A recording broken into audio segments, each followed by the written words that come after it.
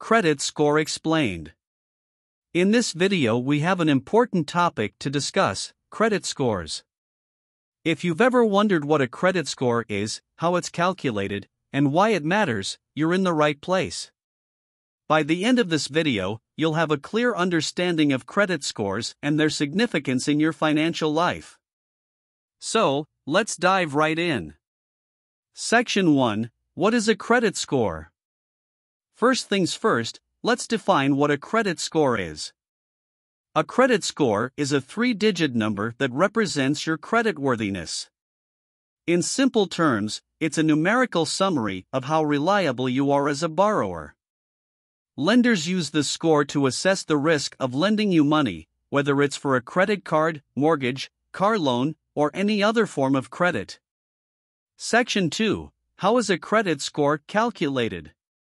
The calculation of your credit score is based on several factors, and the weight of each factor may vary depending on the credit scoring model. However, the most common factors include 1. Payment history. This is the most significant factor and involves looking at whether you make your payments on time. 2. Credit utilization. This refers to the percentage of your available credit that you're using. Lower utilization is generally better for your score. 3. Length of credit history. The longer you have a credit history, the better, as it demonstrates your ability to manage credit over time. 4. Types of credit. A mix of different types of credit, such as credit cards, loans, and a mortgage, can positively impact your score. 5. New credit inquiries.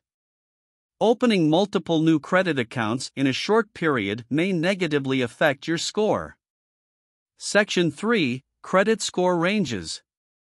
Credit scores typically fall within a range, and these ranges may vary depending on the scoring model used. The most common credit score range is 300 to 850. Here's how scores are generally categorized Excellent, 750 and above. Good, 700 to 749. Fair, 650 to 699. Poor, 600 to 649. Bad, below 600. Section 4 why does your credit score matter? Your credit score plays a crucial role in many aspects of your financial life. A higher credit score opens doors to better financial opportunities, including lower interest rates on loans and credit cards. It can also make it easier to get approved for a rental apartment, utilities without a deposit, or even a job in some cases. On the other hand, a lower credit score can result in higher interest rates, limited access to credit, and even difficulty in getting approved for a loan or credit card. That's why it's essential to understand your credit score and take steps to improve it if necessary. Section 5 How to Improve Your Credit Score. If you have a less than ideal credit score, don't worry. There are several steps you can take to improve it over time. Here are some tips 1. Pay your bills on time, every time. 2. Reduce your credit card balances and maintain a low credit utilization rate. 3. Avoid opening unnecessary new credit accounts.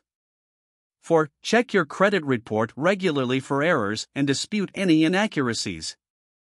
5. Consider becoming an authorized user on a friend or family member's credit card with a positive payment history. Conclusion and there you have it a comprehensive guide to understanding credit scores. Remember, your credit score is a valuable financial tool, so it's crucial to manage it responsibly. Whether you're looking to buy a car, a house, or simply want to maintain a healthy financial life, your credit score will always be an essential factor. Thank you for watching. Please hit the subscribe button so you don't miss any future content. If you have any questions or comments, please let us know in the comments section below.